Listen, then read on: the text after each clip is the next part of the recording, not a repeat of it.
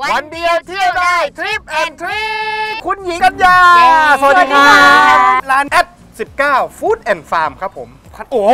สวยมากอะอุ้ยใหญ่โตอลังการมาก สวยเลยอะ แล้วคอนเซปต์ของร้านคือเป็นยังไงครับ คือจริงคอนเซ็ปต์ครั้งแรกเนี่ยเราปลูกผักก่อนค่ะไม่ได้มีร้านอาหารเลยนะอือหือปลูกผักเพื่อจะขาย1เมล็ดต่อหนึ่งหลุม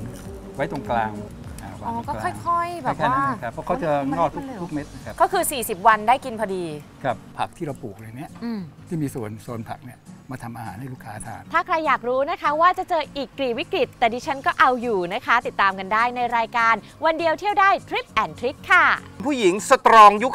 2021 เนี่ยนะไม่ว่าจะเจอวิกฤตอะไรก็ตามค่ะเธอคนนี้เอาอยู่ทุกน่ะเรื่องในช่วง จริง หรือไม่จริง เพราะบททดสอบในวัยเด็กทำให้โตขึ้น เป็นหญิงเก่งหัวใจแกร่งจริง หรือไม่จริงล้มละลายลมละลายขอโทษนะคะ พี่ค่ะอายุเท่าไหร่คะ20 เองมั้ง กี่ดราม่าก็ฆ่าผู้หญิงคนนี้ไม่ได้ เพราะเธองัดไม้เด็ดเข้าสู้ จริงหรือไม่จริง ถ้า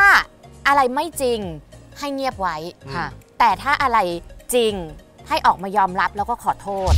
ยอมรับเพราะรักพังทำให้ชีวิตนี้เกือบจมอยู่กับความตาย สาวๆทั้งหลายนะคะ ที่อยากสตรองแบบพี่หญิงเนี่ยต้องยึดหลักอะไรบ้างในการใช้ชีวิต เอาจริงๆนะสำคัญเลยคือต้องมีสตินะอืมค่ะโอ้มีสติแล้วจะได้แก้ไขปัญหาทุกอย่างให้ได้ และที่สำคัญก็คือต้องรักตัวเองด้วย วันเดียวเที่ยวได้ทริปแอนทริก